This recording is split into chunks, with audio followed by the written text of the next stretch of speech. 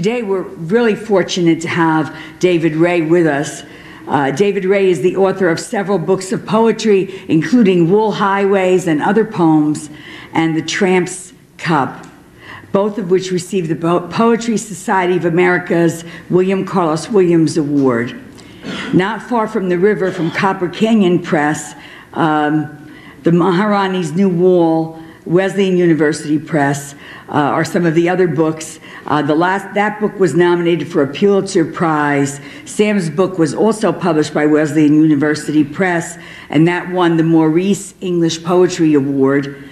Um, David Ray has also received a National Endowment for the Arts Award for his fiction, and he's a professor of English at the University of Missouri, uh, Kansas City. Uh, he's won um, so many awards, it'd be impossible to name them all. Um, he's certainly been an active force in poetry uh, in the United States, and I think that his poetry has in it that kind of universal quality, that ability to speak intelligently but also feelingly about being human and about the human heart. And let's welcome David Ray.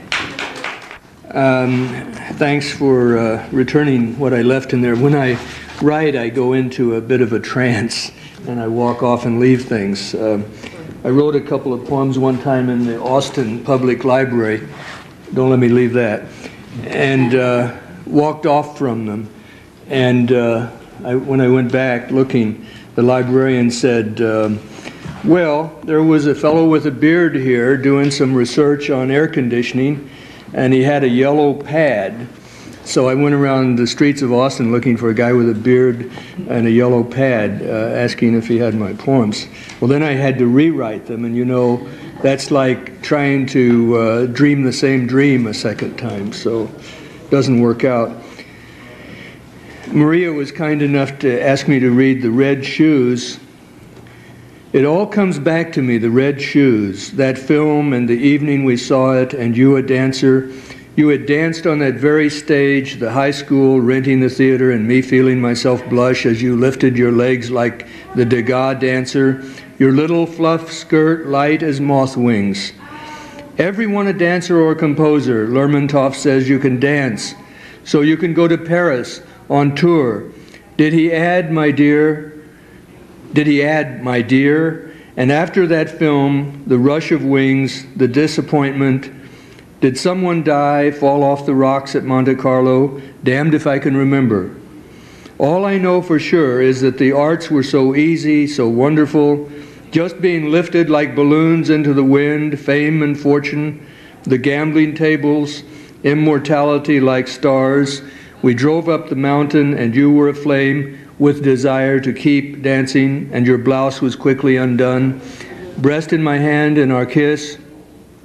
Then down to earth, not so firm, inquisitions for both of us, witches and wizards, beatings sustained for our love. Not all who danced were so beautiful as you, who entered the film when I lost you. The vast room of fantasy, nothing else ever.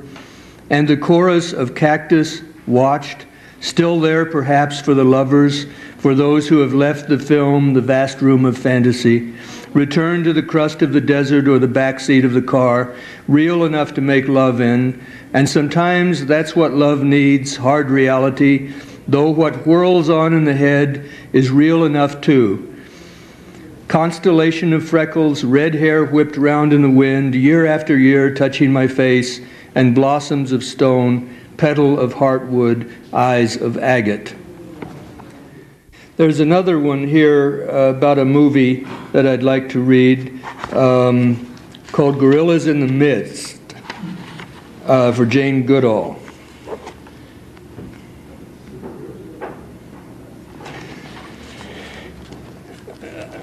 We watch gorillas in the mist. Evidently, it is nicer to be gorillas than to be people like us. The lady was at war with the bad people. She loved the good gorillas who beat their chests, fought for their children, died trying. But she was no match, of course, for the bad people, which seems to be the case in all the bad places that were once paradise. One sees how hard it is to save anything a tree, a tusk, an infant gorilla. I'm surprised if I can save from the fire of time one poem, one shard of the jug we drank from. The lady flies into a rage, for they've attacked again those with the law on their side. The grieving babe is carried off in a crate, another theft off her sacred mountain. The bad men want heads for trophies, babies for zoos, hands for ashtrays. The hand she held, feeling that touch, that flow of one being into another, what Michelangelo painted on the ceiling. Scene we must still look up to, something of the divine. She found it there in the jungle, but then the movie is over, and a wise one among us tells us the lady was not such a nice person. The lover in the movie was not her lover. The man that part was based on said he didn't even like her, and her hair was always unkempt. She was irrational, you might say, warring with the locals who had to make a living off gorillas. She had smoked herself so close to death that her murder was merciful, a blessing, and so on. It seems that only in movies heroes and heroines are perfect. Swift loved the horses, and she the gorillas, we say, and leave it at that. Uh, you know, that's a reference to the Houyhnhnms. Uh, Jonathan Swift uh, had in Gulliver's Travels was so sure that um, they were better than people. Um, and so you see, those of you who are in the workshop, that the inner critic uh, works on people on the outside too. If, you, if you're critical toward yourself, you're going to be very critical toward others.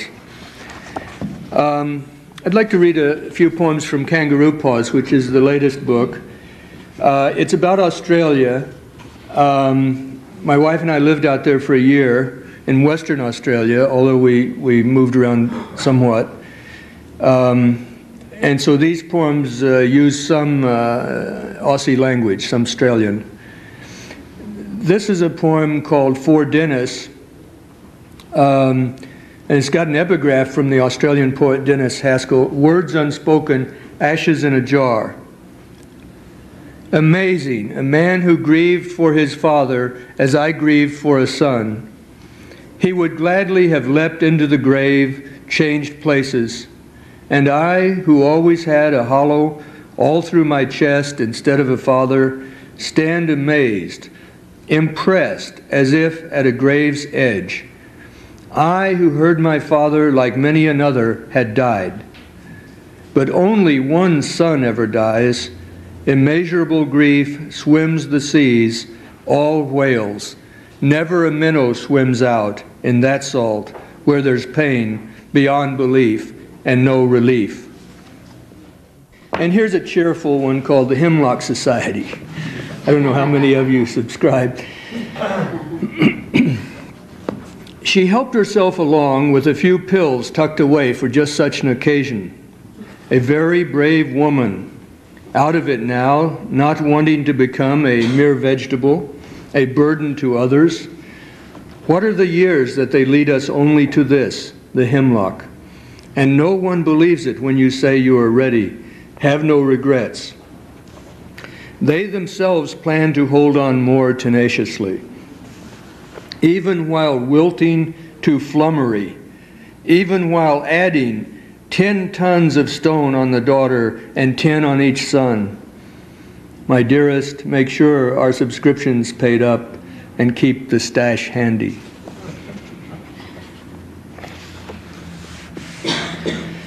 I love that word flummery. You know, poems are built around individual words. That word glazed makes the red wheelbarrow, doesn't it? And flummery, well, look it up yourself. It's a wonderful word. This is Jack, and um, a lot of my stuff just comes from a remark that somebody makes or uh, something of that sort. And this was one remark that I felt I had to make a case for. It's like a museum where there's something in a case and the poem is the, the case. So this is called Jack. In Australia, a scholar tells me, we're undergoing a renaissance of Kerouac. It seems they love the guy. And I think of Jack, slumped in his worn out chair down in Florida, drinking and smoking himself to death, with sullen eyes watching his mother move around the room, yelling Stella at her like Marlon Brando in Streetcar. Stella would bring him his drinks and his smokes, and now and then in the rocking Florida twilight, Jack would lean forward and hug her around the hips, pressing his face against her fallen womb. Go on, Jack, she would say, her hand on his hair.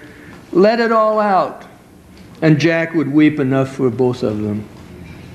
Then Stella would push him away and make her rounds of the room, tipping out ashes, picking up bottles.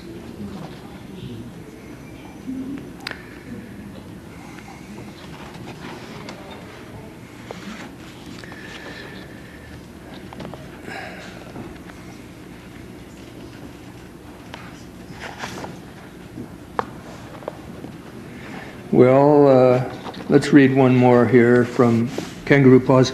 Gulliver's Travels has an epigraph from Katharine Susannah Prichard, who's a very great novelist in Australia. It was a terrible thing men had done to the great tree. She dreaded the vengeance of the trees.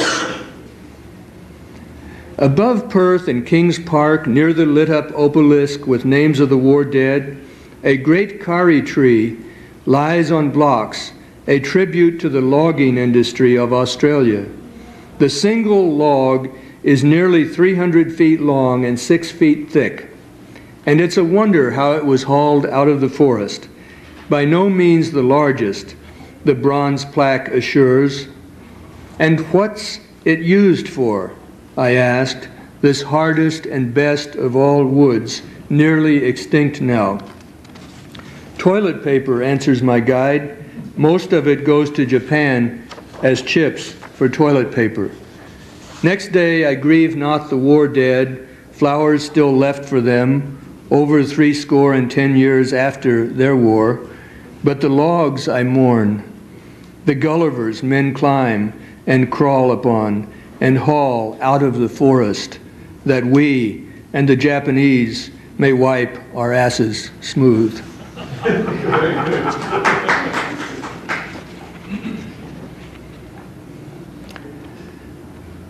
Well, Fremantle, um, near Perth, where, where we lived, is a very moody old town. Um, they used to haul a lot of whales in. And uh, so this is called Freo.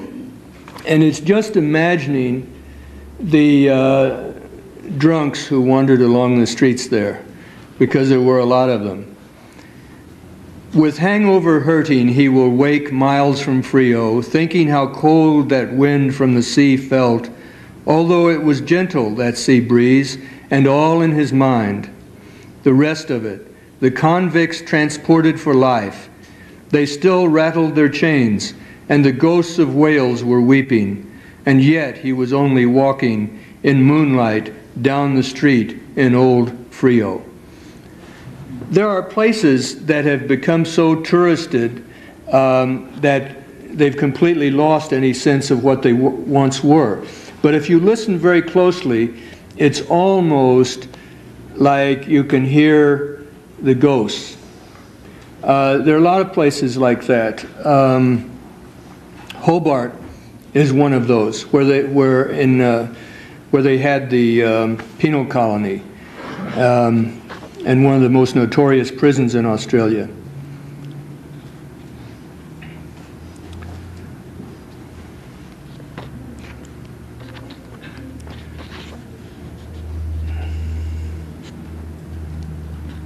Well, uh, I'll, I'll, read you one because you're writers. Uh, nobody but a writer would uh, understand this. It's called Lost. On my last day in Sydney, I grieved my lost blue notebook everywhere, made fruitless, foolish queries wherever we had been. I kept getting floors of buildings mixed up since they have a different system. Walk in on two and call it ground. I've got to sit down and get centered more, I told myself, before a car clips me. They drive on the left and I step out too soon after a glance to the left, then looking right. My German friend was killed that way in London. Others put cigarettes out on their arms. I just write my thoughts in blue notebooks, then make sure I lose them. Ineffable grief I have suffered time and again, sharing all I am, my most intimate thoughts, seeking them down alleys, since cops always say, they throw away papers, mate, they don't want them. So some stranger winds up with those fragments and shards I need in order to glue myself back together, just to be real like some kid in a fable who doesn't want to be lost. Afflicted, abandoned, tossed out on junk heaps, scattered in alleys, or made the butt of a joke. Hey, listen to this one. In one notebook, I grieve another. In one city, remember a dark day in another. And uh, to a child of Baghdad, our bombs may blast you to a better life. You and your vivid parrot may even change places. We give you a chance, at least, to better yourself. Who knows? You may be born beneath a lucky star next time. Maybe live in our land of milk and honey and do some bombing yourself. They say you'll die this year, that our bombs did it, the power outage, polluted water, that sort of thing. But they're stretching a point. If you knew these bombs, you would love them. We draw faces on them. We keep them spit shined and give them pet names. And they are smart. That's how they found you. I should have put that term smart bombs in here as an epigraph because I think a lot of people don't know already. You know, these terms go out of fashion very quickly. In, in this case, thank God. I'll read one more poem from this. Uh, it's called Bad Bog. And this is about a television program. I always tell my students never write about something that's on television because it's been digested and edited and it's third hand and everything. And then I sit down and write, write about something that's on television.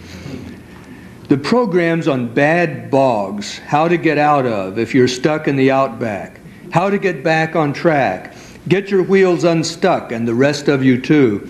It seems there are ways of pulling yourself out of quicksand using nothing but a rope and your own ingenuity.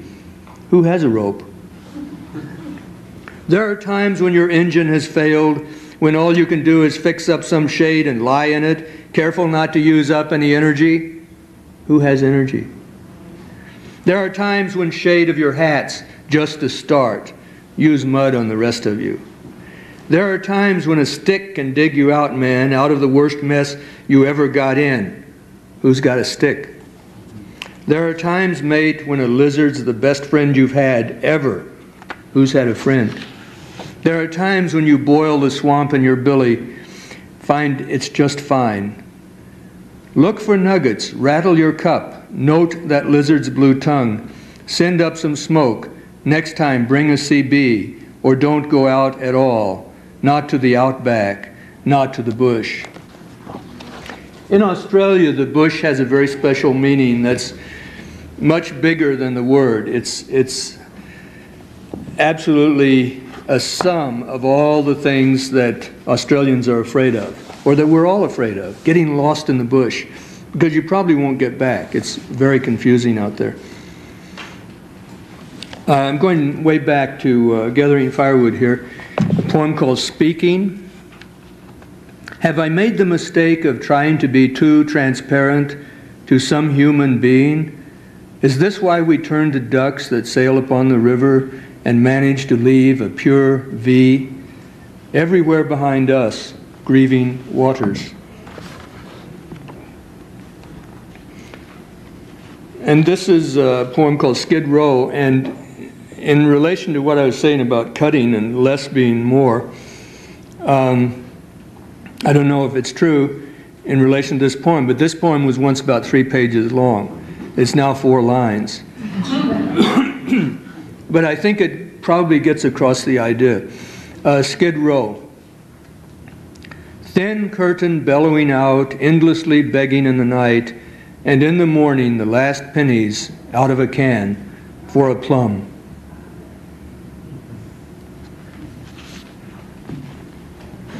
Uh, and this is WCW knew a poet doesn't have to be on his best behavior all the time, has many bad poems, very lifelike, very relaxed, and breaks into song only on occasion, as all folks do, just walking along. And here's another poem about Williams. Um, I just think it's wonderful to be near those falls, and uh, one of these days I'm going to get by Nine Ridge Road. Um, haven't paid homage yet. This is called Such a World to Fail. And this painter they called One Cornered Ma uh, was a master of that technique of doing something that's off in the very corner, and then your mind does the imagining. Arthritic fingers, the chasm of mind. Williams as one cornered Ma of the Sung dynasty, who painted only mind, void, the soft nothing, though scholars and a dog might stand bemused cliffside. In this valley, we see regrets everywhere the nest made of flung hair and the frail hell of hands. How our fingers shake, our weak eyes failing the world.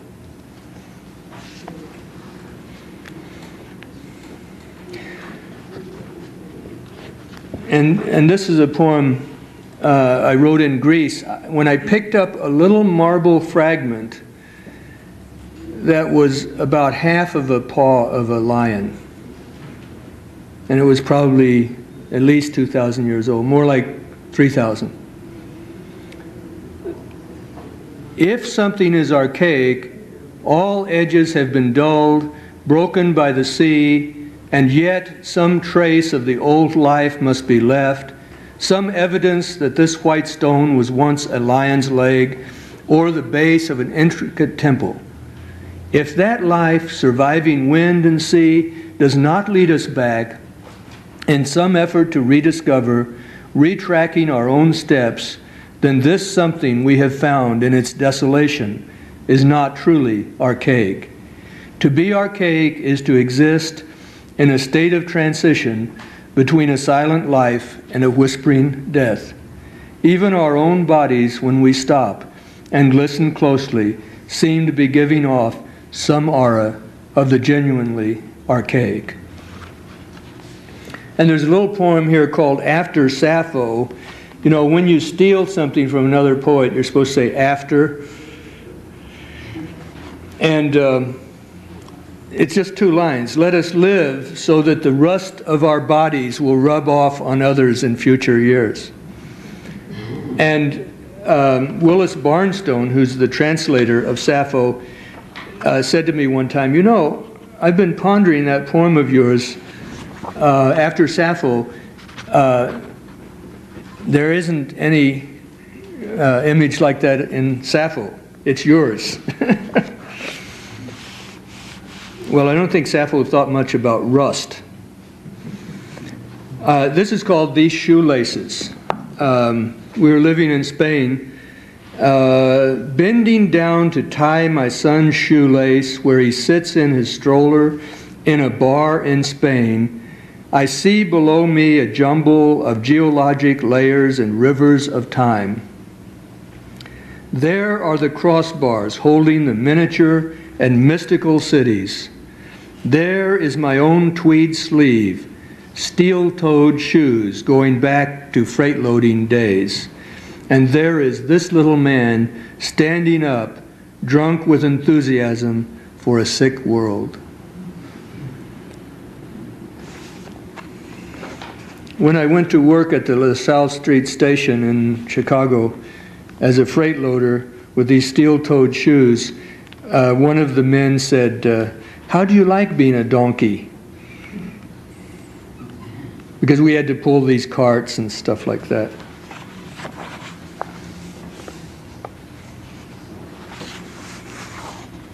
This is the 4th of July. Those uh, war monuments in Australia, by the way, are for World War I. And school children, even in the second and third grade, still write letters to the uh, fallen of World War I because Gallipoli means more to them than World War II. So they kind of skip all the other wars. But this one is World War II.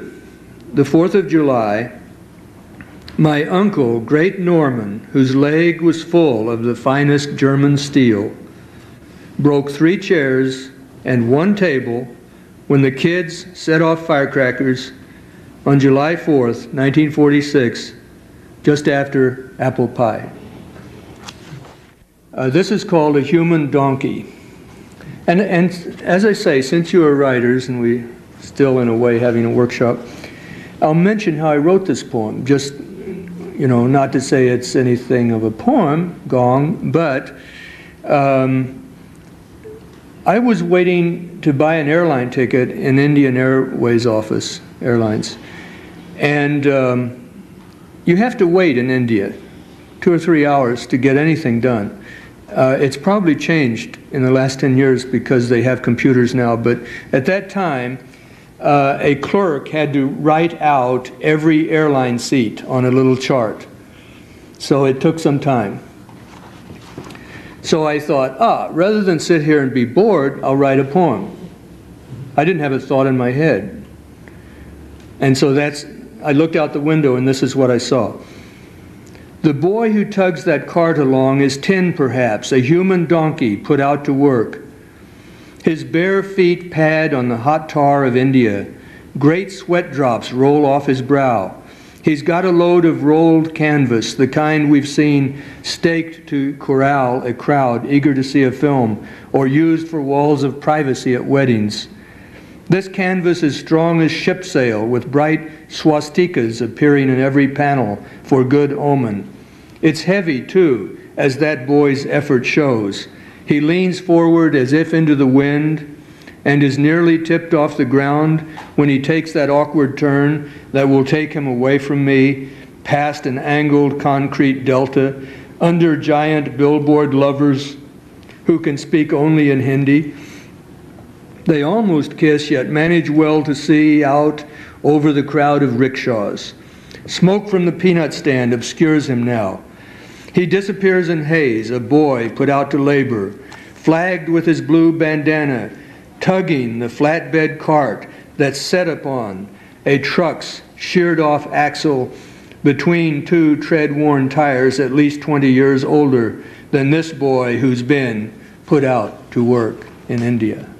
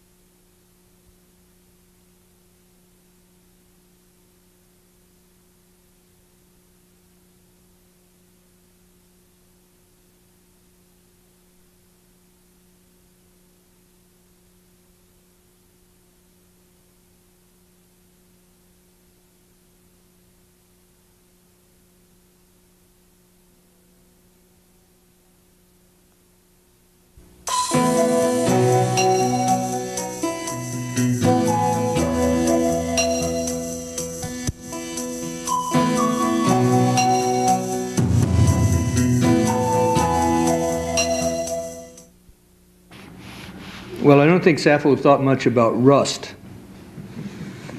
Uh, this is called These Shoelaces. Um, we were living in Spain, uh, bending down to tie my son's shoelace where he sits in his stroller in a bar in Spain. I see below me a jumble of geologic layers and rivers of time. There are the crossbars holding the miniature and mystical cities. There is my own tweed sleeve, steel toed shoes going back to freight loading days. and there is this little man standing up, drunk with enthusiasm for a sick world. When I went to work at the LaSalle Street station in Chicago as a freight loader with these steel toed shoes, uh, one of the men said, uh, How do you like being a donkey? Because we had to pull these carts and stuff like that.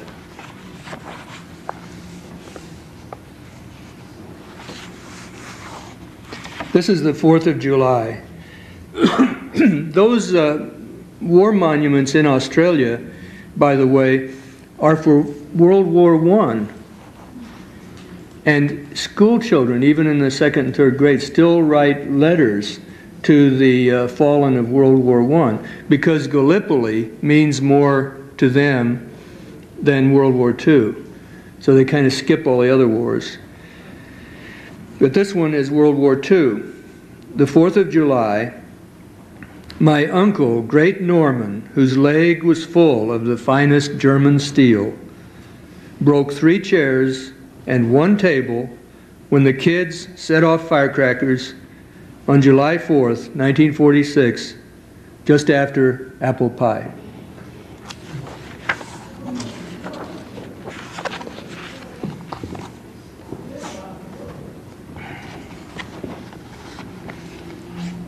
And this is just uh, one poem about India. We lived in India for a year, and uh, very powerful experience. I don't think I've gotten over India, and some of my closest relationships are uh, with friends from India. Uh, in fact, I have an Indian son-in-law now, so that's family. Uh, this is called a human donkey. And, and as I say, since you are writers, and we still in a way having a workshop, I'll mention how I wrote this poem. Just, you know, not to say it's anything of a poem, gong, but um, I was waiting to buy an airline ticket in Indian Airways office, airlines. And um, you have to wait in India two or three hours to get anything done. Uh, it's probably changed in the last 10 years because they have computers now, but at that time, uh, a clerk had to write out every airline seat on a little chart. So it took some time. So I thought, ah, rather than sit here and be bored, I'll write a poem. I didn't have a thought in my head. And so that's, I looked out the window and this is what I saw. The boy who tugs that cart along is ten perhaps, a human donkey put out to work. His bare feet pad on the hot tar of India. Great sweat drops roll off his brow. He's got a load of rolled canvas, the kind we've seen staked to corral a crowd eager to see a film, or used for walls of privacy at weddings. This canvas is strong as ship sail, with bright swastikas appearing in every panel for good omen. It's heavy, too, as that boy's effort shows. He leans forward as if into the wind and is nearly tipped off the ground when he takes that awkward turn that will take him away from me, past an angled concrete delta, under giant billboard lovers who can speak only in Hindi. They almost kiss, yet manage well to see out over the crowd of rickshaws. Smoke from the peanut stand obscures him now. He disappears in haze, a boy put out to labor, flagged with his blue bandana, tugging the flatbed cart that's set upon a truck's sheared off axle between two tread worn tires at least 20 years older than this boy who's been put out to work in India.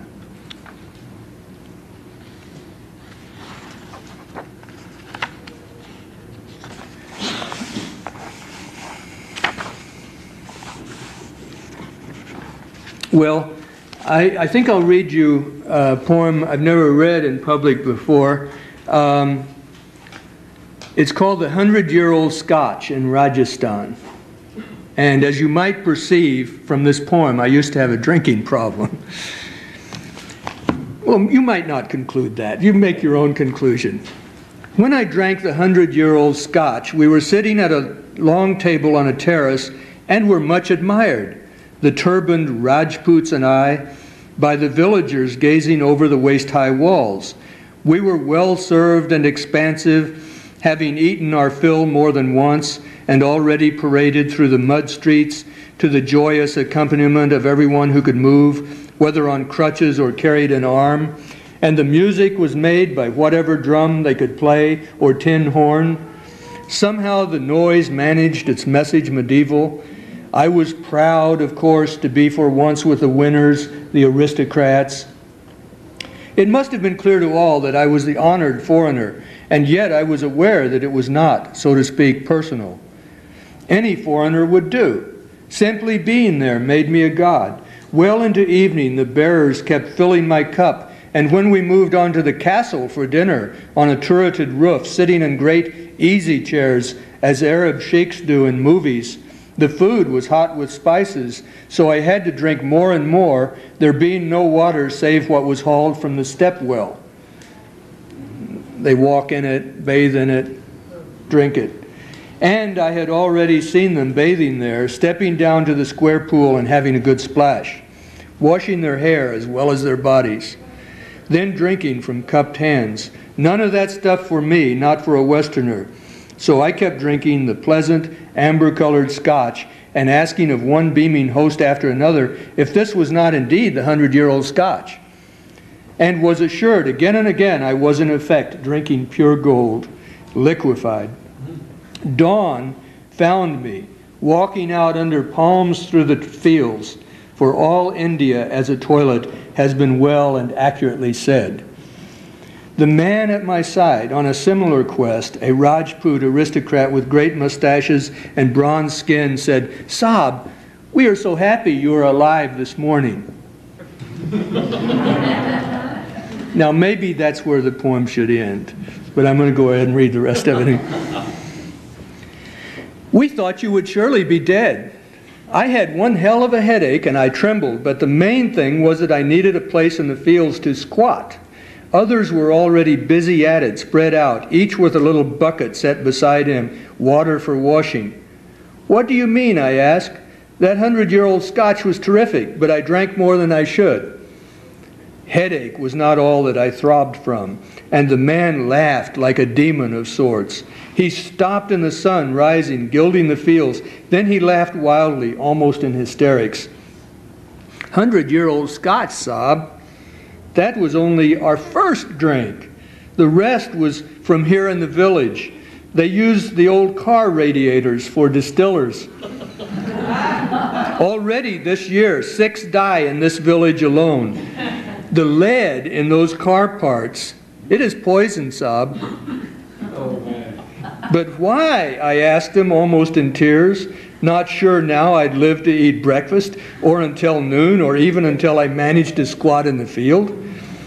Why did that bearer keep serving? Oh, Saab, the Rajput explained, you liked it a lot. We Rajputs could see that, and we remarked to each other how happy you were. That bearer, he wished to be nice. Nice, I yelled, knowing maybe I'd die from it. Oh, yes, he said, for that is our custom. We must always be nice. I was not well enough to continue our discourse, so I staggered on till a few riverside rushes gave me the chance to touch Mother Earth and deposit half or more of my body. Then some of my tears, while much of me died there, came to know what the phrase meant 100 years of solitude. which I then suffered within one square yard of Indian earth, and yet I recall it gleaming like gold, the first glass of that hundred year old scotch in Rajasthan, and how those eyes over the wall admired and envied me for drinking it, holding the glass up for another and another and another. I really uh, did think I was going to die from that. Um, I'll read just a few poems from Sam's book. Um, poems for my son. Many of them were written uh, while he was alive, and I just put them together. Um, and some are, are working through the grief, which never ends, as you know. Uh, the temple at Paestum. Son, forgive me if, for a moment when we saw the temple at Paestum on the sea, I thought the steps worn on that stone had been by your ancient feet which ran before me. You know, somebody asked um, the guru, What's the secret of happiness? And he said, uh, Grandfather die, father die, son die. The man said, That doesn't sound very happy. Uh, and the guru said, Would you have it in any other order?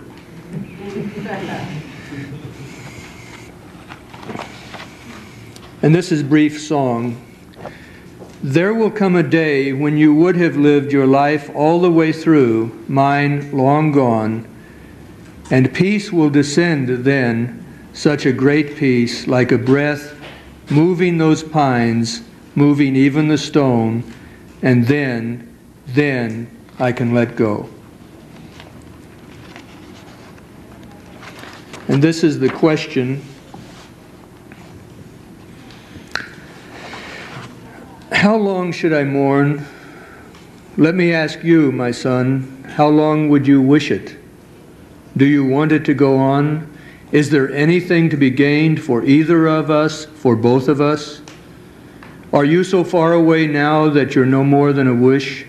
The one I had on my mind before you fulfilled it came quite early one morning when mist was on fields and we had slept there waiting in a tent for you yet rushed into the town as if a boy like you could not have appeared out of the fields, blue mists, not far from the ocean.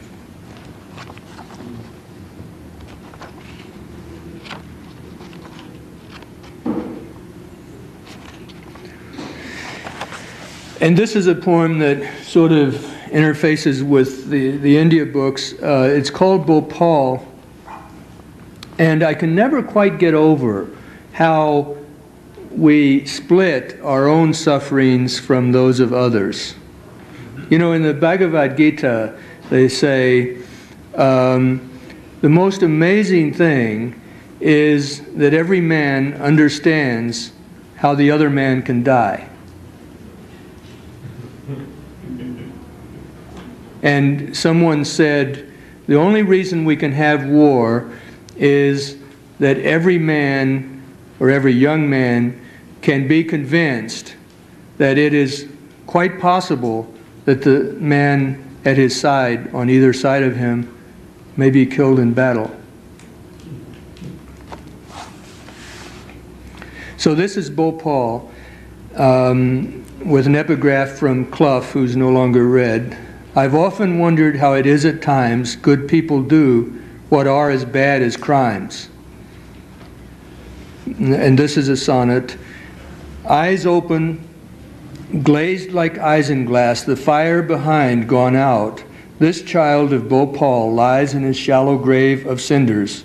No time for weeping, as when we lost our son Sam, and stood, hands joined, to wish him well in some life beyond. In fact, he might have gone on to Bhopal just in time to die again at just three months. Not likely, but who knows? One thing that's certain, though, is this third world or one beyond, they're all our children now. Though born by millions in brown arms and black, and not much mourned by those who think their own are wonders, others somehow less, and thus I'll say goodbye to this son too, and yours. I think we've all been doing that to that uh, Oklahoma child, the picture that's become so famous in the last couple of weeks. I, I, guess these fancy deconstructionists use the term icon. That will become an icon for, for our year here. This is another trick of the mind, and actually, this poem is based on something that's a serious suggestion from a grief book I was reading. Out of a book, a little trick. Instead of the picture and much longing for that lost face, place yourself within the frame. You're back together again, if only in the past or in the dream. or this gilded picture in mind, but it is no longer a dream or a picture of loss. And then you go on down the road you have to go together.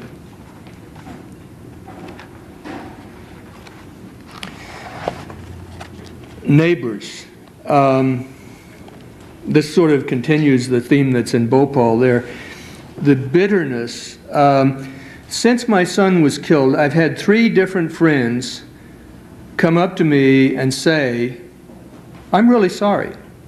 I apologize. Because when you went through that, I had no idea what you were going through. And now I'm in your shoes. Because they lost children. And they didn't understand it until they did. This is true, of course, of, of any suffering. You take alcoholism. Um, George McGovern um, is writing a book about the death of his daughter who died in an alcoholic accident. You know, she was drunk and fell down in the snow and so forth. And my son died in an alcoholic accident. And so he, um, he he's um, had an assistant calling me and talking about it because he's uh, he he likes these poems, and um, uh, I haven't talked to him yet. But when I do, uh, what she says to me is that he's blaming himself, and what I want, plan to say to him is, you know, if you're not an alcoholic, and of course he isn't. Um, you can never know how impossible it is for anybody else to get at your problem. You are the only one who can help yourself if you're an addict. So, if one really understands that, then maybe survivor's guilt will diminish. Anyway, um, this is called neighbors. neighbors who pretend not to know. What kind of neighbors are those?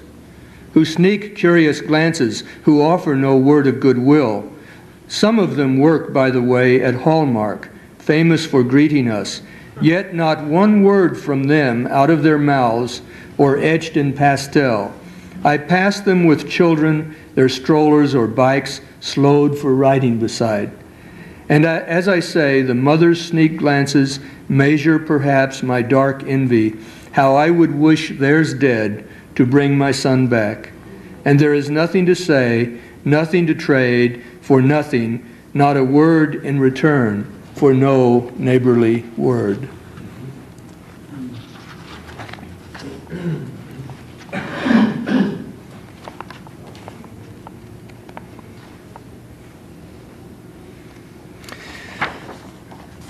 Well, I'll end with this uh, poem from Sam's book called In the Children's Library. Sam retreating to find a room away from murmurous girls, loud whispers, music leaking from earphones, while mid afternoon browsers of Sweet Briar lounge. I come to the bright room kept for children, wonderful books I did not read as a child. You got through some of them, and the novel you started in the eighth grade reflected your love of Tolkien and White and Farjeon, and you loved Black Beauty at least as much as equestrian scholars here who cross the campus in boots, jodhpurs, cute little black jockey caps fastened at chin. I sit by the window open to leaves falling, now and then one upon the window ledge. Oak tables are small and the squat chairs strong. And I could have led you in ten years ago while you lived and there was much hope ahead. Then I noticed a book propped, recommended, you come too, with Frost's darkest poems inside. Those you copied out on a cypress root and a birch slab. Come in to the dark and dust of snow, as if from the pine where you lie. I read them now, these poems you so loved, lived and died by, and see that the book has been stamped for grades 7, 8, and 9 as if an old man reading and seeking your guidance and frosts were robbing the cradle of wisdom. I read them for you, son, who taught me to weep, who taught me to say these prayers for the dark. Thank you. Well, someone said that a poem is a moment's monument, and I think that's probably true. So uh, I've had a lot of uh, moments to write monuments about. Uh, I've lived in several countries, so a lot of those um, places have been very inspiring. Um, a couple of my books are about India, uh, one's about Australia, one's about New Zealand. Uh, when you travel, things are very, very vivid. And um, so, yes, I'd, I'd agree that uh, you write about those moments that hit you very hard. And poets are more thin skinned than other people, so they get hit harder and more often. Well, how does one survive that?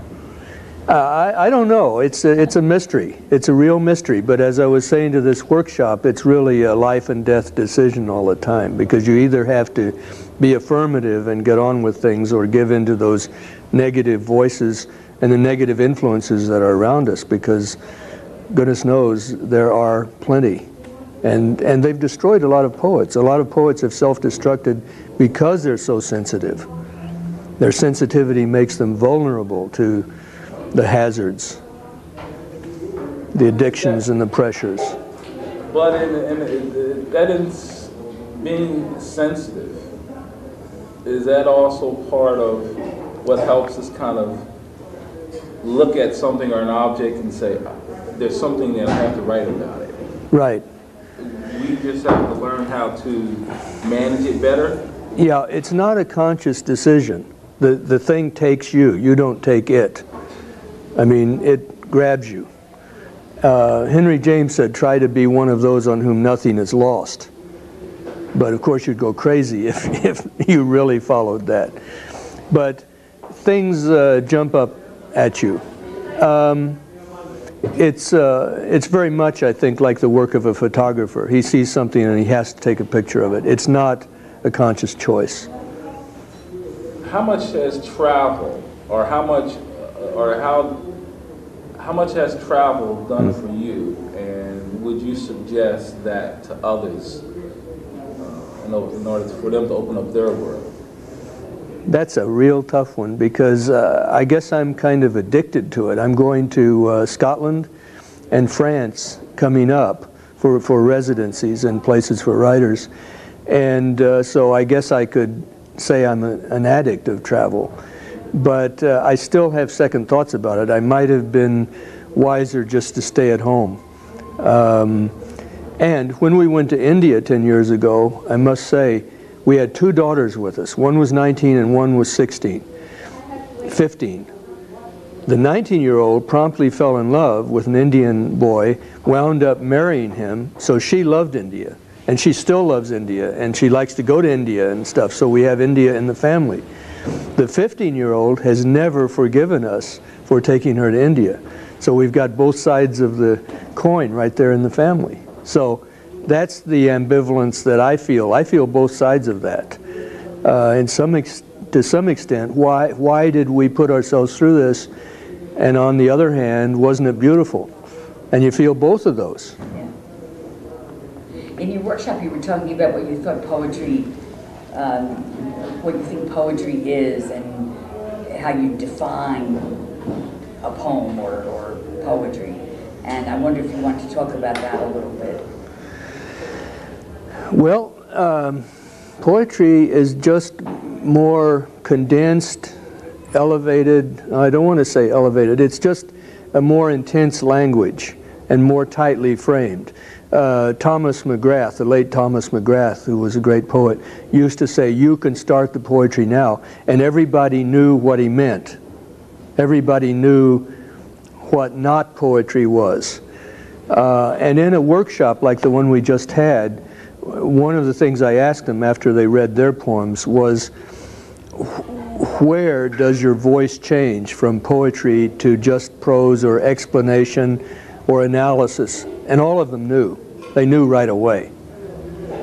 So it's, it's, it's a different kind of language. Uh, Housman said poetry is what makes your whiskers stand up. Um, so you know what it is. And um, about 20 people in the workshop read their poems, and I asked them which ones made you really feel something. And once more, uh, they knew exactly. So um, poetry is that language which can bridge that gap between two people, whether it's over 2,000 years and a language barrier or just across a table. And you never know. I mean, as a poet yourself, Maria, you know that uh, you can't predict it. You never know what will get through to somebody and what won't. The things that I think are sure things, I can't even get published. The, maybe something that I wrote in a very offhand moment, somebody will come up to me that I've never met and say, that made me weep, or thank you for writing that, or something of that sort. So you never know. And sometimes, of course, you, you regret having this, this book, Sam's book, uh, which was basically part of the grief work for my son's death 10 years ago. I wish I hadn't had to write. And yet, that's the one that people write to me about and has brought me close to a lot of people because they've had similar losses. So you, you cannot predict, you can't prophesize, you can't prognosticate. And certainly as a teacher, you can't decide who's going to be terrific and who's going to be a deadbeat. You just can't do it. No. I know a lot of teachers who think they can, but that's playing God, in my opinion.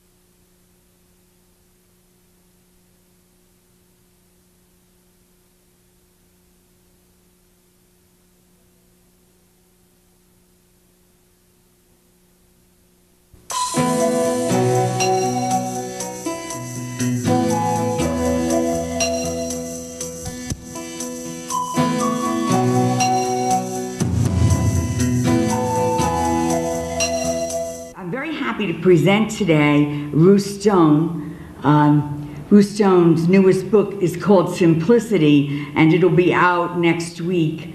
Um, her last collection of poems uh, was called Who is the Widow's Muse, and there are copies of that available on the table in the back, and it won the Best American Poetry of 1991 award. She also won the Whiting Foundation Award and the Patterson Poetry Prize. Um, Ruth Stone's poetry has been anthologized in many books, including the Norton Anthology of Literature by Women and recent volumes of The Best Year in American Poetry. Uh, Ruth is a professor of creative writing at the State University of New York at Binghamton. If you're interested in her new book, uh, you can order copies uh, by giving us a check. We'll send it on to the publisher who will send you an autographed uh, copy of Ruth's book. Um, I just had the pleasure of reading the book Galleys last night, and it's an incredible book, really incredible book. Uh, what else? Oh, um, so I think before I allow Ruth to come up here and read her poems, I'd, I'd like to say that it seems to me that in um, a period of time when so many people are writing poetry, there still are very few really original, vibrant, uh, daring voices. And I think that Ruth Stone is one of them. Let's welcome Ruth Stone. Good advice. Here is not exactly here because it passed by there two seconds ago, where it will not come back. Although you adjust to this, it's nothing you say, just the way it is. How poor we are with all this running through our fingers. Here, says the devil, eat. It's paradise. Let's see, I made a little list hastily. Here it is.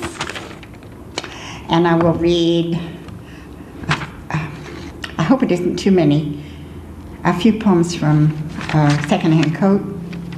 I'll read The Nose, which I've read before many times, but it's an okay poem. Still true. The nose. Everyone complains about the nose. If you notice it is stuck to your face in the morning, it will be red. If you are a woman, you can cover it with makeup.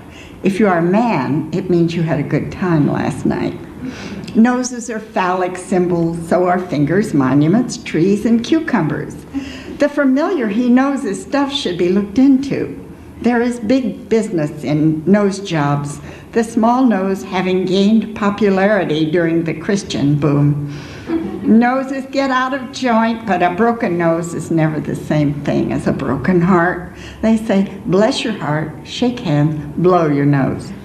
When kissing, there is apt to be a battle of wills over which side your nose will go on. While a nosebleed next to a good cry is a natural physic, a nosy person smells you out, and looking down your nose will make you cross eyed. Although the nose is no longer used for rooting and shoving, it still gets into some unlikely places. The old sayings, he won by a nose and he cut off his nose to spite his face, illustrate the value of the nose. In conclusion, three out of four children are still equipped with noses at birth, and the nose, more often than not, accompanies the body to its last resting place. Okay, uh, mine. Oh, I forgot to say which page it's on. Oh, sh- mine. I'll have to look it up now. Uh, hmm, I know it's here. Oh, it must be an older one. Mine, 79, okay. Mine. Sick at heart, I lie down among those who dream of murder. While I am sleeping, they take away my blankets. The sparrows fly up from the snow and hunch in the bushes. I walk slowly away, shivering. I have died ahead of my body. It drags behind me. Come, they say, hiding their smiles. Surely you can do something about this bloody thing that is following you. You know it is yours. Uh, 47. This one is called Turn Your Eyes Away. The gendarme came to tell me you had hung yourself on the door of a rented room, like an overcoat, like a bathrobe hung from a hook. When they forced the door open, your feet pushed against the floor. Inside your skull, there was no room for us. Your circuits forgot me. Even in Paris, where we never were, I wait for you, knowing you will not come. I remember your eyes as if I were someone you had never seen, a slight frown between your brows, considering me.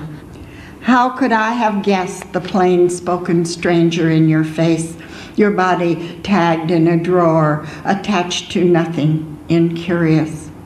My sister, my spouse, you said, in a place on the other side of the earth where we lay in a single bed, unable to pull apart, breathing into, into each other, the Gideon Bible open to the Song of Songs, the rush of the L train jarring the window.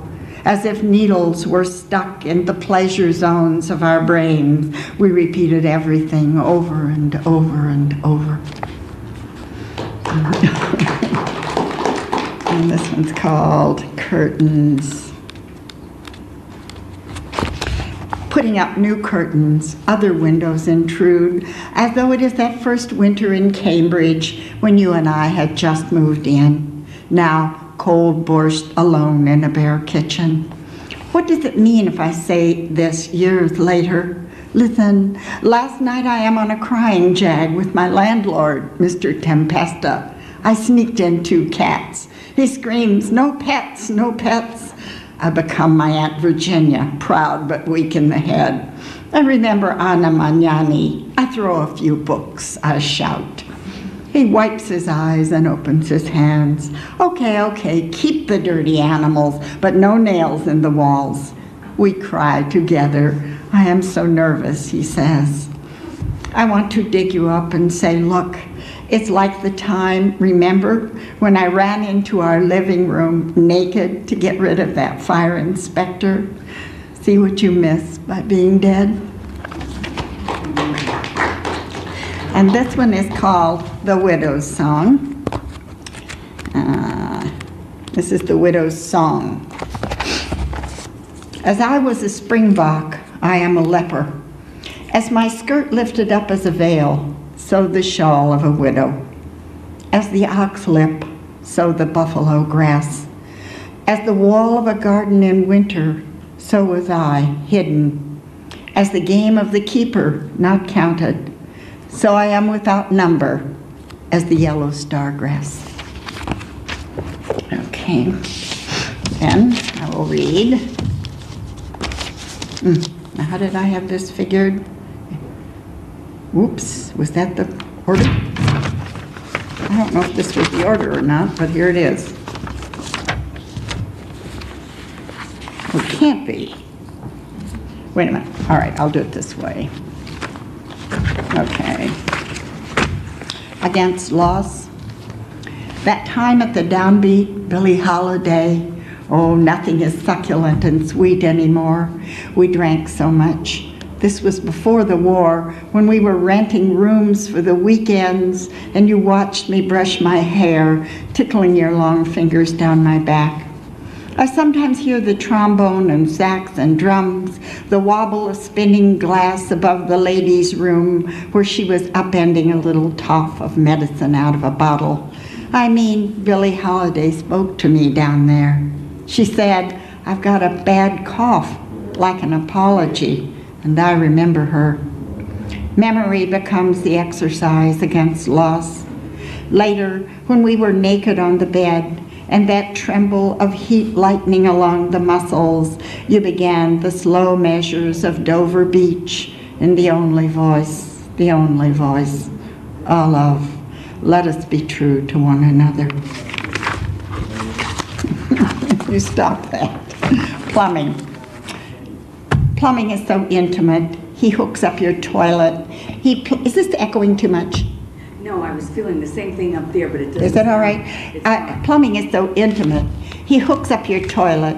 He places a wax ring under the vitreous seat where your shit will go. You are grateful to him. He is a god with wrenches, a quiet young man using a flame torch. He solders the joints. He crawls through your dusty attic over the boxes of doll furniture, the trains, the ripped sleeping bag, the Beatle po- posters, the camp cots, the dishes, the bed springs to wire up the hot water tank. And you admire him as you would St. Francis for his simple acceptance of how things are. And the water comes like a miracle. Each time in the night, with your bladder full, you rise from the bed, and instead of the awful stench of the day before, and perhaps even the day before that, in a moment of pure joy, you smell nothing but the sweet mold of an old house and your own urine as it sloshes down with the flush. And you feel comfortable, taken care of, like some rich Roman matron who had just been loved by a boy. And this is called That Winter. In Chicago, near the lake on the North Shore, your shotgun apartment has a sunroom where you indulge in a cheap chaise lounge and read of human bondage. There is a window in the living room proper cracked open so your Persian cat can go outside. You are on the first floor, and upstairs, a loud-mouthed southern woman whose husband is away all week on business trips has brought her maid up from Georgia to do the work and take care of the baby. Oh Lord, the southern woman says, he wants it spotless on the weekend.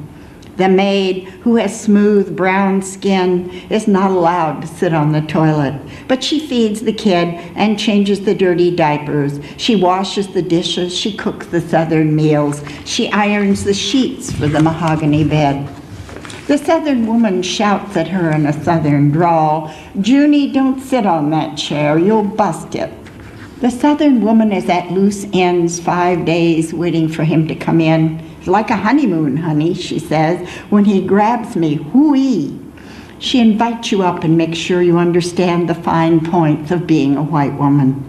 I can't let her live here, not in Chicago. I made her go out and get herself a room. She's 17. She bellered and blubbered. Now I don't know what she's tracking in from men. It is winter. The ice stacks up around the retaining wall. The lake slaps over the park benches, blocks of ice green with algae. You are getting your mail secretly at a postal box because your lover is in the Aleutians. It's during the war, and your disgusting husband works at an oil refinery on the south side. Up there in the Aleutians, they are knocking the gold teeth out of the dead Japanese. One construction worker has a skin bag with 50 gold filled teeth. He pours them out at night in his Quonset hut. He brags about bashing their faces in. One day, you are fooling around in a downtown music store waiting for the war to end. You let a strange teenage boy talk you into going home with him. He lives alone in a basement behind a square of buildings. He shows you his knife collection and talks obsessively about Raskolnikov. Suddenly your genes want to live and you pull away and get out of there. It is almost dusk. You run until you find the boulevard sluggish with the 1943 traffic. You know by now there isn't much to live for except to spite Hitler. The war is so lurid that everything else is dull. For eight women, gender loyalty alien to the pits and ducks of ourselves, how to unscrew this pattern. Now here's another matter, the season of bagworms, and yet the moths were so random, so azure. One lives alone out of circumstance until the face in the multiple mirrors is sourdough, full of its own gas. The ocean is near, swallowing everything, a little cup of water moving along the galaxy. In Morocco, my child goes down to the beach toward evening. She forgets her tormentor, the headmaster's wife. The ocean takes her, the broth of itself flowing inside her. She rests with her feet in the scallops of water.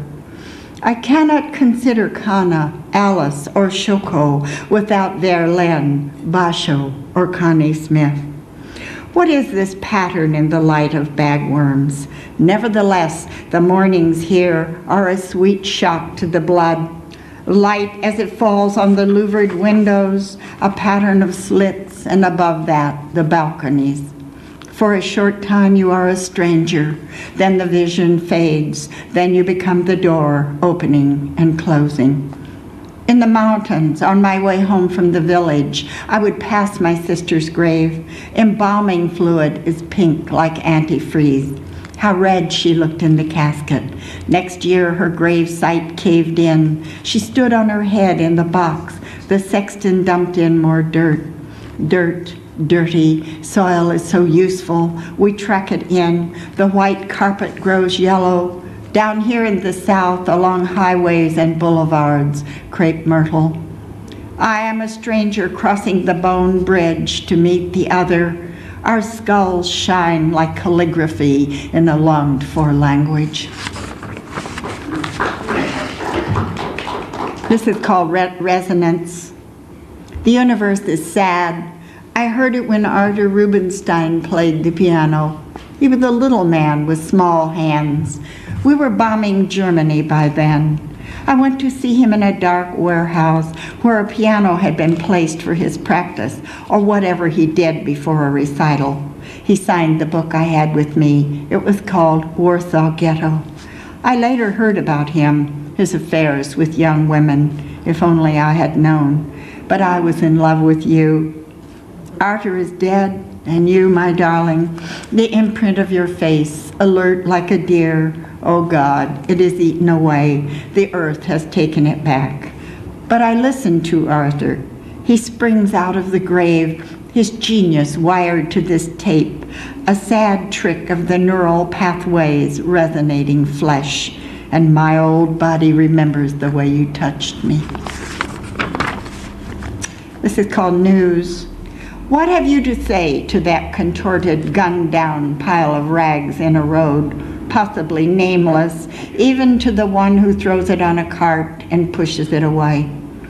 The discarded New York Times is wrapped around your garbage, a now wet on the scene still from someone's news camera, stained with scraps from your kitchen. And whose illusion that woman running with the child, already struck, the machine gun crossing the line of her body, yet she does not fall, although she is already dead. Her history written backward. There is no time to weep for her. This was once the snot of semen, the dim blue globe of the egg moving through the fallopian tube, that single body casting itself into the future. Did I read things I say to myself when hanging laundry yet? No, I didn't, no. Things I say to myself while hanging laundry. Am I reading too long? No. If an ant crossing on the clothesline from apple tree to apple tree would think and think, it probably could not dream up Albert Einstein, or even his sloppy mustache, or the wrinkled skin bags under his eyes that puffed out years later after he dreamed up that maddening relativity. Even laundry is three dimensional.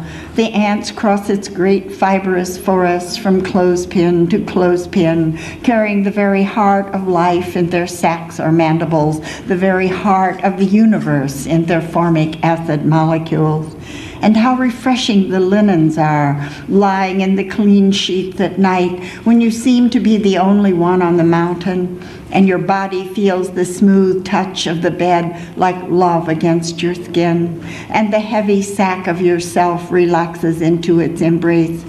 When you turn out the light, you are blind in the dark as perhaps the ants are blind, with the same abstract leap out of this limiting dimension so that the very curve of light, as it is pulled in the dimple of space, is relative to your own blind pathway across the abyss.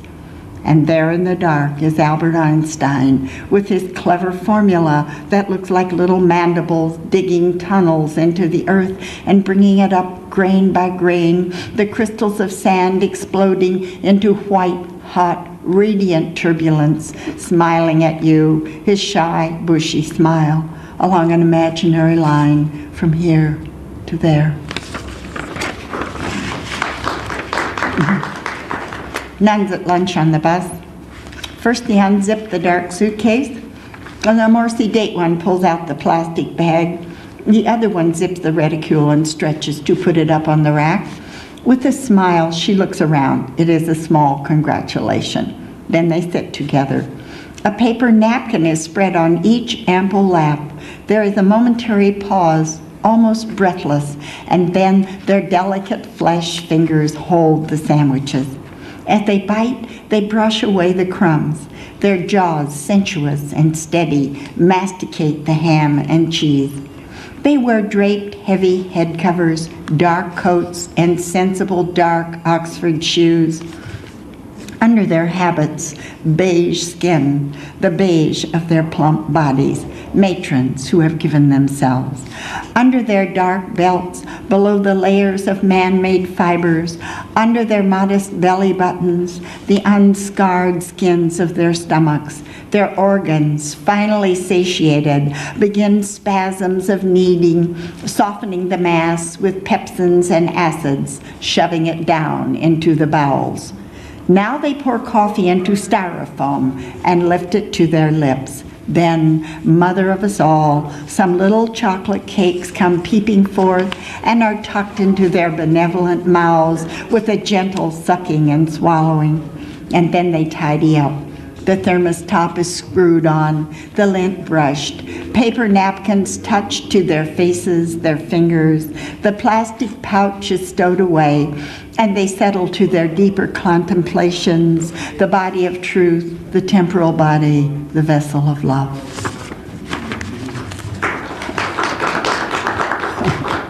This is called the sperm and the egg. The sperm hate the egg. They are afraid of it. And ogress, they clot the hot red anteroom clinging to the walls.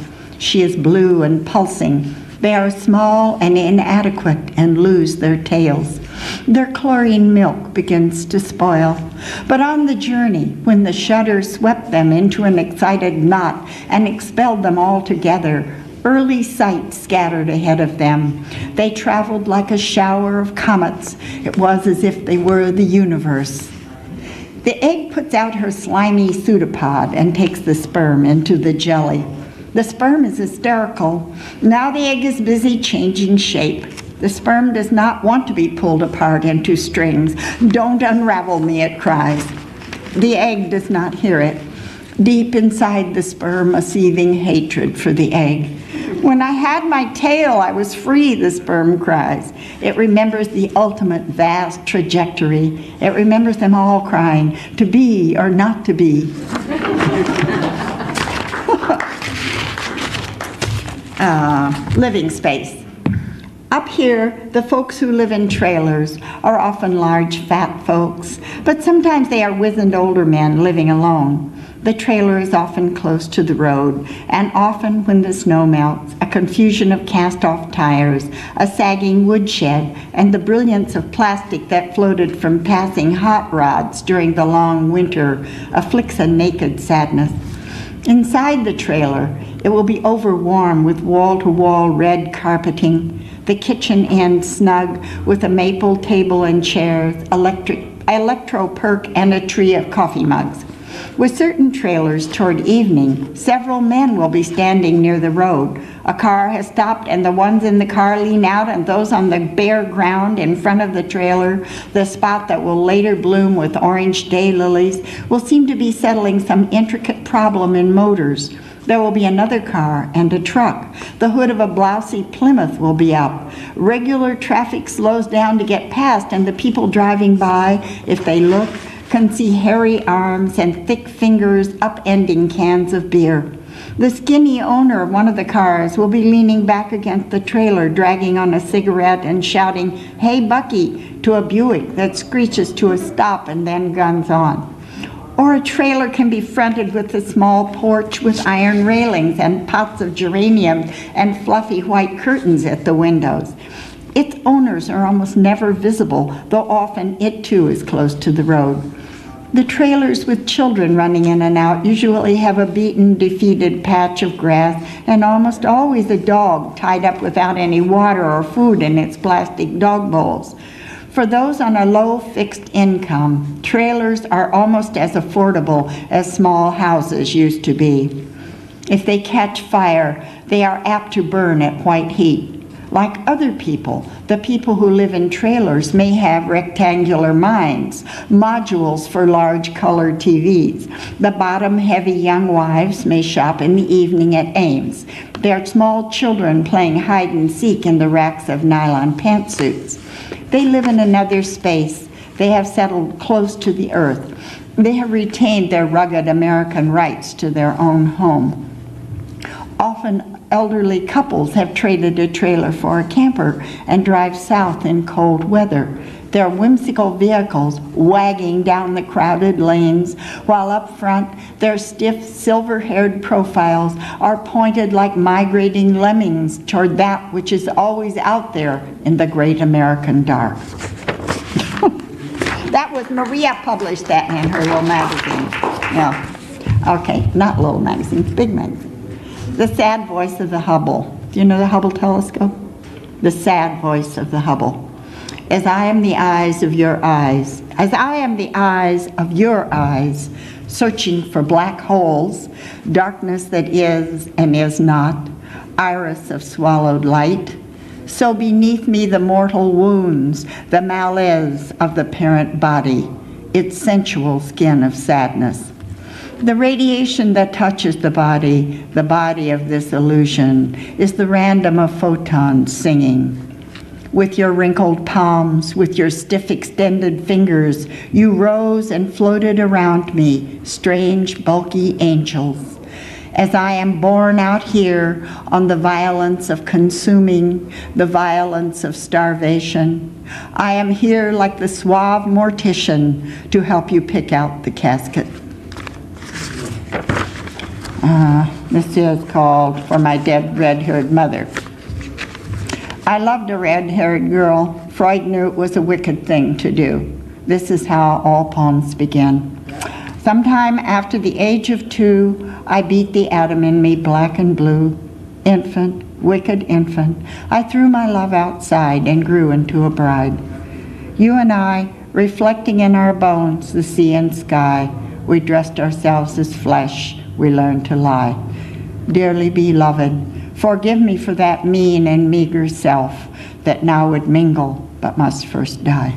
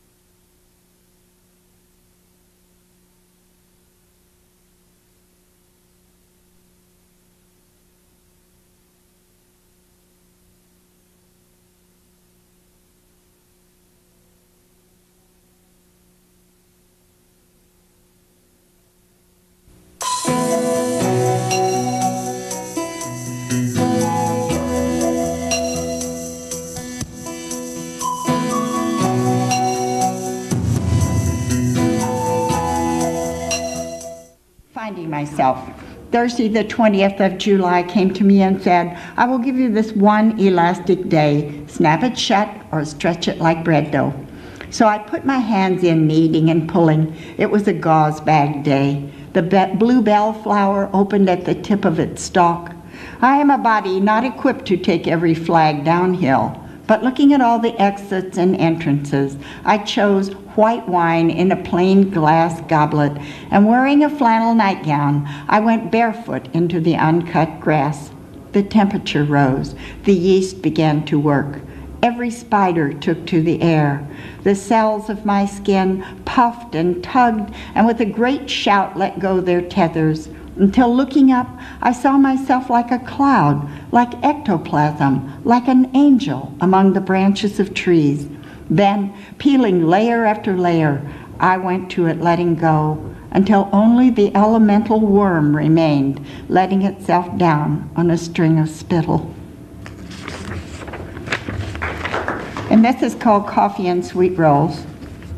When I remember the dingy hotels where we lay reading Baudelaire, your long, elegant fingers, the nervous ritual of your cigarette, you, a young poet working in the steel mills, me, married to a dull chemical engineer. Fever of having nothing to lose, no luggage, a few books, the streetcar. In the manic shadow of Hitler, the guttural monotony of war, often just enough money for the night. Rising together in the clanking elevators to those rooms where we lay like embryos, helpless in the desire to be completed, to be issued out into the terrible world. All night sighing and waking, insatiable. At daylight, counting your change, you would go for coffee. Then, lying alone, I heard the sirens, the common death of everything, and again the little girl I didn't know, all in white, in a white casket. The boy I once knew smashed with his motorcycle into the pavement, and what was said, made a wax figure for his funeral, came into me. I had never touched the dead. Always the lock unclicked, and you were back, our breakfast in a paper sack. What I waited for was a tremor in your voice. In those rooms, with my eyes half open, I memorized for that austere and silent woman who waited in the future, who for years survived on this fiction. So even now, I can see you standing thin and naked, the shy flush of your rising cock pointed toward heaven as you pull down the dark window shade.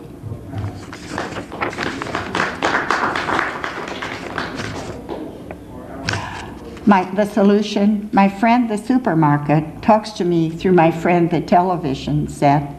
Did I read this one? No. So, solution. My friend the supermarket talks to me through my friend the television set. They tell me I am not lonely. Come to me, Super says. Have an electric clock and a big cucumber. Very cheap. You can set yourself to go off with the alarm. They take me in my sleep to the shopping plaza and show me temptations in plastic. All this can be yours, they say. Gorge yourself.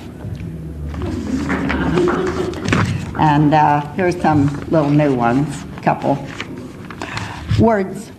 Wallace Stevens says, a poet looks at the world as a man looks at a woman. I can never know what a man sees when he looks at a woman. That is a sealed universe. On the outside of the bubble, everything is stretched to infinity.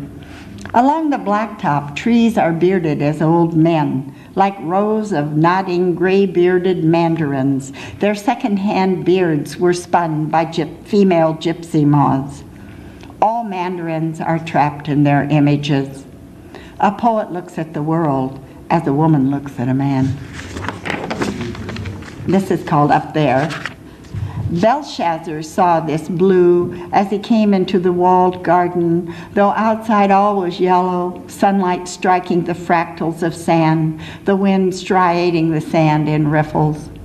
Land changes slowly, the fathoms overhead accruing particles reflecting blue or less blue. Vapor, a transient thing, a dervish seen rising in a whirl of wind, or brief cloud casting its changing shadow, though below the open mouthed might stand transfixed by, by mirage, a visionary oasis.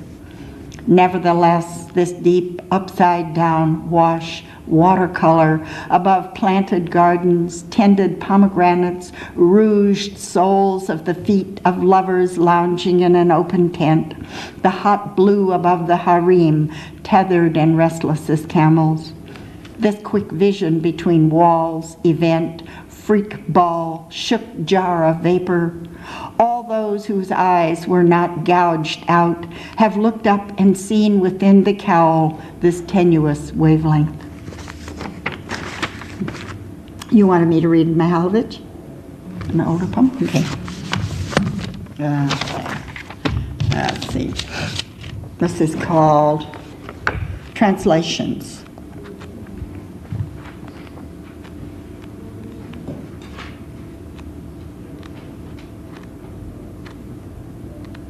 Here it is. 45 years ago, Alexander Mikhailovich Turitsyn, son of a white Russian owner of a silk stocking factory in Constantinople, we rumpled your rooming house bed, sneaked past your landlady, and turned your plaster Madonna to the wall. Are you out there, short, vulgar civil engineer? Did you know I left you for a Princeton geologist who called me girly? Ten years later, he was still in the Midwest when he died under a rock fall. I told you I was pregnant. You gave me money for the abortion. I lied to you. I needed clothes to go out with the geologist. You called me Kushka, little cat. Sometimes I stopped by the civil engineering library where you sat with other foreign students. You were embarrassed my husband might catch you. He was in the chemistry lab with his Bunsen burner boiling water for tea. Alexander Mihailovich Turitsyn, fig of my pallid college days, plum of my head. Did the silk stocking factory go up in flames? Did the German fox jump out of the desert sleeve and gobble your father up? Are you dead? Second-hand engine, formula concrete.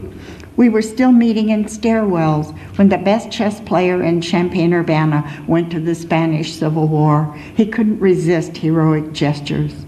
For years, I was haunted by the woman who smashed her starving infant against the Spanish wall.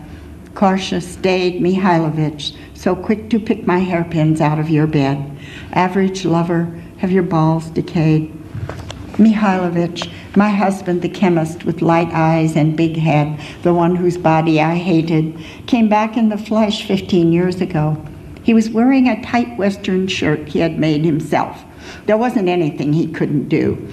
He talked about wine and cheese tasting parties. We folk danced at a ski lodge. So this is life, I said. He told my daughter he was her daddy. It wasn't true. You're all so boring. My friend from Japan, Kana Maeda, the scholar of classical haiku, whose fingers, whose entire body had been trained to comply, her face pale without powder, her neck so easily bent. After she died from the radiation, her translations of Basho were published by interested men who failed to print her correct name. So the narrow book appears to have been written by a man. Faded in these ways, she is burned on my flesh, as kimonos were burned on the flesh of women in the gamma rays of Hiroshima. She wasn't one of those whose skin peeled in the Holocaust, whose bones cracked. Graceful and obscure, she was among all those others who died later. Where are you, my repulsive white Russian? Are you also lost? Pimpled, obscene boy, employed at an early age by your father, you pandered his merchandise on trays, using your arm as a woman's leg slipped inside a silk stocking with a woman's shoe on your hand. Do you understand that later I lived with a transvestite, a hairdresser who wore wigs? When he felt that way, he would go out and pick up an English professor. After we quarreled, I cut up his foam rubber falsies. I had a garage sale while he was out of town. I sold his mail order high heels, his corsets, his sequined evening gowns. Those afternoons in bed, listening to your memories of prostitutes with big breasts, how you wanted to roll on a mattress of mammary glands. The same when Rip Hansen told me about the invasion of France. Crossing the channel, he saw infantry falling past him from split open cargo planes, still clinging to tanks and bulldozers. Statistical losses figured in advance. The ripped open remnants of a Russian girl nailed up by the Germans outside her village, also ancient, indigenous. But what can I tell you about death? Even your sainted mother's soft dough body, her flower dusted breasts, by now are slime paths of microorganisms. Where were you when they fed the multitudes to the ovens? Old fetid fish eyes. Did they roll you in at the cannery? Did you build their bridges or blow them up? Are you burned to powder? Were you mortarized? Did you die in a ditch, Mihailovich? Are you exorcised? Poor innocent lecher, you believed in sin. I see you rising with the angels, thin, forgotten, dirty fingered son of a silk stocking factory owner in Constantinople. May you be exonerated. May you be forgiven. May you be a wax taper in paradise. Alexander Mikhailovich Turitsyn. When I, when I first began to write, of course, I was a child, and uh, it was all uh, received through my ear. Uh, I mean, I heard the poems, and it was music probably. And uh, so I didn't ever think about what I was saying, but just musically writing it down, and it was musical. Uh, it happened to make sense, but probably grew out of, you know, just everything I had ever read, uh, you know, and so forth, or heard.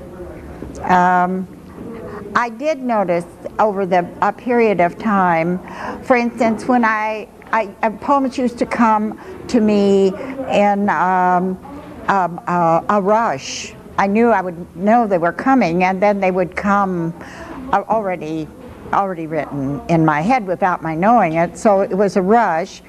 and I would feel that, and uh, I, I would feel them coming. Uh, after, um, I, think up into my 20s, or at least mid 20s, they stopped doing that specific thing. Um, they didn't come so obviously in the rush. I would get a funny feeling and they would come. It's always had a distinct, other people have mentioned this too with themselves, a distinct, uh-oh, uh, a, a poem, you know. But early on, it was uh, an incredible thing. I would feel it from a far distance coming toward me, uh, real strong. Um, anyway, how does the, I, I'm thinking about how my poetry changed. I think that I accepted uh, through my ear my poetry for many years. Um, uh, they came out whole, and I do not think I worked on them. They, they were more or less musical. I think they were songs of some sort. It was musical. Uh, not melody, but musical language, and they worked. And also, I used to get incredible last lines would come to them too, you know. At a certain point a few years ago, my last lines quit doing that. And it was maddening because instead of getting, you know, these terrific, so seeming terrific last lines, the poem would just sort of hang there toward the end, and I had to fight for it. Uh, I think also that um, my mental processes began to operate more overtly in the poetry as time went on. Uh, when I would um, sort of know what I was doing, a, a great deal of what I've done over the years, I have some, I have this strange feeling that I didn't, I just took what came, you know. Uh, I was born this way. Don't know whether it was any good or whether it wasn't any good. Didn't matter. That's the way it came. Uh, I think I began taking control of it at a point, some point, controlling the muse or whatever it was, uh, so that I would find myself searching in my mind, and then I would be writing line by line. But it was still, I think it was still, I recognized when the right line came, and it would, I would put it down. I think that Maria writes this way. I think that almost everyone who's been writing for many years and who's naturally written, I think this is somewhat similar process. And that is that your mind, your mind is sort of built uh, in this way to, that creates, poetry must be a very ancient thing. Yeah. Hate to tell you something perfectly awful. I was so afraid after I, my this po- this poetry thing was such a miracle to me that I was so afraid I would imitate someone that I wouldn't read anyone's poems at all. I read no poetry for many years. That I only have read since I've had to re- read poetry since I've been a, an adult after the age of 40. Mm-hmm. Isn't that dreadful? Well, but you read. But I loved, I loved, I, yes, I loved, uh, I hear a lot of uh, poets, but I didn't, I never, I was so afraid I was going to copy someone Right. that I didn't want to. I have a, a terrible uh, mimic in me, so that I have to guard against it. Uh, did you read a lot of novels or? Everything, I read so heavily in fiction. I read almost everything in the world. uh, translated a lot of it, but yeah. hmm I have read all of Proust long ago, even all of Henry James. Imagine that. I have read, uh, I've read all of Jane Austen. I read, just name it, I've read it. I've, I, I have been a, a heavy reader. I learned start started reading when I was three. Wow. Well, I didn't start reading. I learned to read when I was three, you know, but I started, I can't remember not reading a lot. I would go to the library and bring home huge um, uh, things of books. I read through the children's library, then I began reading through the adult library, and I read through my grandfather's library. I read through the high school library. I read like a worm, right through. And do you think that that's influenced um, Not. I think not- my language, I think I got a huge amount of language from it. Right. I, I, I wasn't conscious of it, but uh, yeah, and also I'm a mean critic. I find that hard to believe. don't you? About prose, Mm, I'm a mean prose critic. Uh, When you look around at what's happening in poetry today, uh, and I know you have a poem about, a very ironic poem about Po Biz. Oh, What's your, what's your sense of Po Biz today? I think there are just fabulous young poets writing. Uh, Yolanda here, is it Yolanda? Yo, yo, Joanna, Joanna, marvelous. I think that my classes, for instance, your classes everywhere, the stuff you read in magazines, uh, there are so many wonderful poets, largely because women have been added uh, to the poetry world. And how? And I mean to say, I don't think I had that much competition with men looking back now that I look back. But women, my God, they blow you right away. They're great. Women are really natural, wonderful poets. Is this radical of me to talk their- this way? No. Does it say something about a kind of courage? I think that for one thing, the world of women was not explored uh, before. And so women had this, were almost stock figures in the literary world, as we well know. Uh, and uh, uh, women have come back to uh, into poetry uh, saying this is not true. Women have a huge amount of variety and an enormous, and they have been willing to just strip it all off, go naked. Mm. Women have a tremendous amount of nerve. I've been so impressed with it. Yeah. So that I think that I I am simply I simply came along early on in this century. There were already wonderful women, but the time I came along, I bet you if I was coming out right now with my work for the first time, I would I wouldn't even make an impression on anyone. An original is always an original. What do you think? Uh, Although, is this coming out on this, is going to be, ad- You got to edit. You got to edit this mad stuff. You got to. I'm apt to say bad things. No, I think really what you're saying about women is so true, and I think that, I remember in 1972, walking through the stacks at Drew and looking at books, great American literary masters, great English masters, and they meant masters, not, not, uh, there were almost no women None. None. They- No, they no did women in anthologies. And in- even the women from earlier in the century. Oh yeah. Uh-uh. And not only that, the uh, the rules of what was okay for women to do uh, would forbid um, them saying anything like that. I mean, the lid has been blown off. My students say the most outrageous things, if they're good. Right. I, I- think that there was a kind of permission that was given with, when Ginsberg wrote Howl, I think in a way he threw open a door and said anything is possible. That's right. And women rushed through that door. They really did. They rushed through the door. And of course, uh, you know, uh, just being outrageous uh, uh, uh, isn't everything, but uh, it's something. Look at the, this, this stuff that she got up and read. Yeah. hmm It's Yeah. marvelous. How Yeah. has women's, or women writing poetry and women reading poetry, has it? I don't know who's reading it. Probably more people are writing it than are reading it. Although there, you get pretty good crowds at, at poetry readings, uh, and, and I think that probably it's getting better. Uh, I, I don't know um, about s- s- book sales and so forth, but and also you realize that in the grade schools they don't teach reading anymore, and they don't have time for reading, and they don't even emphasize reading, but they do emphasize writing.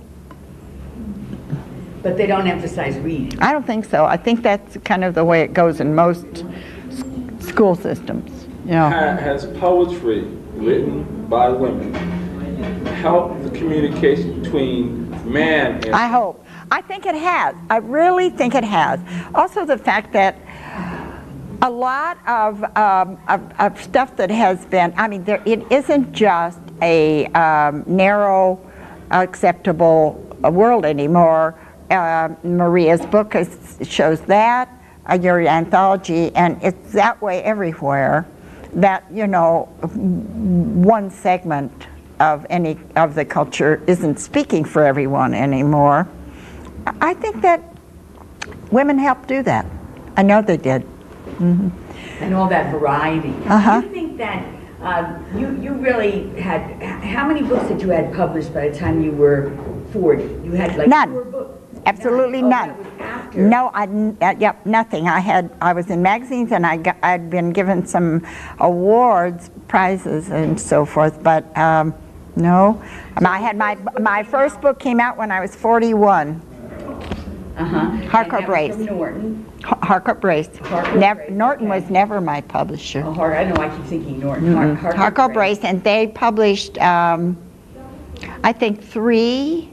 And then I, then uh, I went to David Godine uh, because Norton became uh, one of those corporations that uh, I think they owned an amusement park. They were all parts of everything. They were, they became slimy, you know.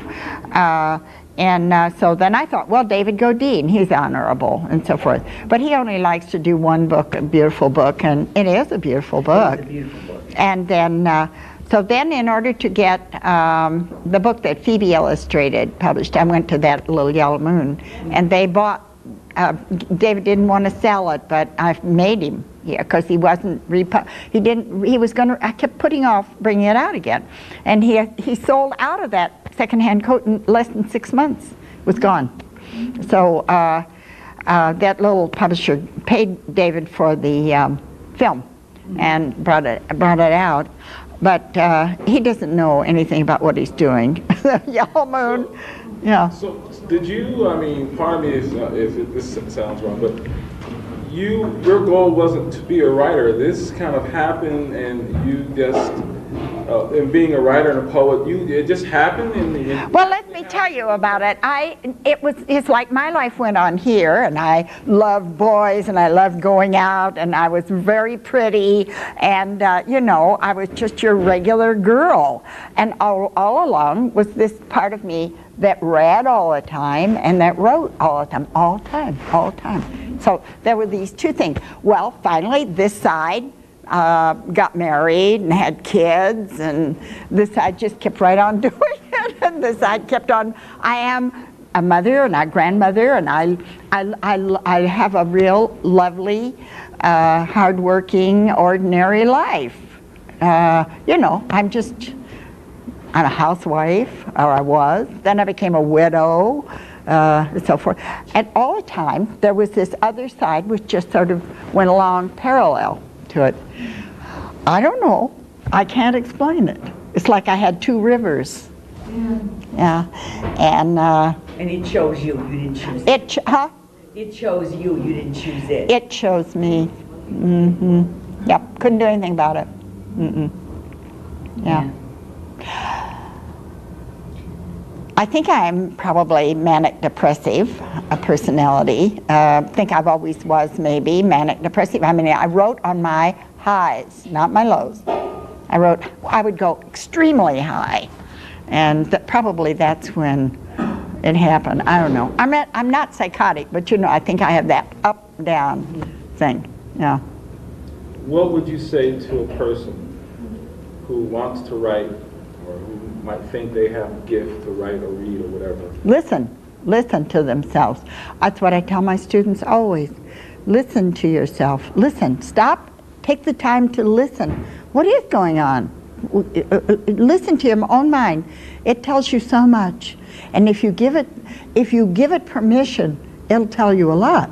And it won't just confuse you with noise, you know. It'll, if you listen, I think it's sort of like meditation, or it's sort of like, uh, yeah, alpha ways of meditation. Everyone, I think everyone can do it. I think you're born with this ability. It's just that my mother let it, let me do it. I think, yeah.